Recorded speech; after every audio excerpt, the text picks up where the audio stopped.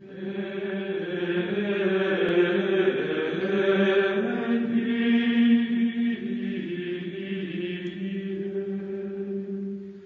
Ibu, Saudara, saya terkasih dalam Tuhan Yesus Kristus. Hari ini, Kamis 1 Mei 2014, kita ada dalam pekan Paskah kedua. Sekaligus kita membuka lembaran baru dalam hidup kita. Kita ada dalam bulan Mei yang biasa kita pakai untuk menghormati Santa Perawan Maria, bulan Maria.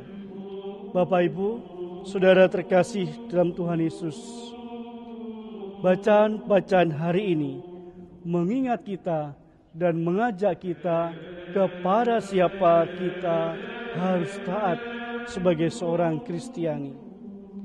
Ketika imam besar orang-orang Yahudi, mahkamah Yahudi mulai menegur para murid Petrus dan kawan-kawan Petrus dengan tegas mengatakan,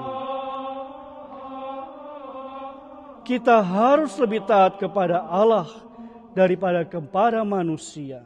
Saudara, saya terkasih, taat kepada Allah karena Allah adalah sumber hidup. Karena di dalam Dia ada hidup yang kekal. Di dalam diri Yesus yang telah disalibkan, dibunuh, dan bangkit, ada sumber hidup yang kekal abadi, yang tidak bisa dikalahkan oleh siapa pun. Maka Bapak Ibu, Saudara, saya terkasih dalam Tuhan Yesus Kristus. Kita pun patut bertanya dengan diri kita sendiri, bertanya dengan hidup kita.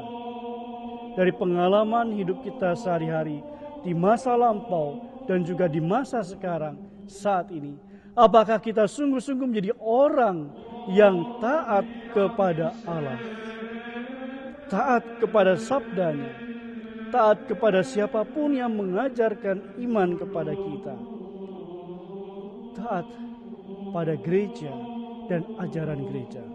Ataukah kita mencari jalan sendiri sehingga kita tidak mau menjadi orang yang taat pada ajaran gereja dan merasa lebih tahu segalanya.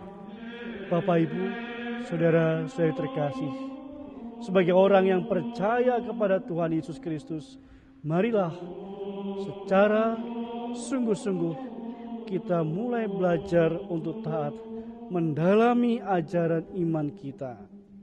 Karena dengan demikian kita diajak untuk semakin mengenal Tuhan Yesus Kristus.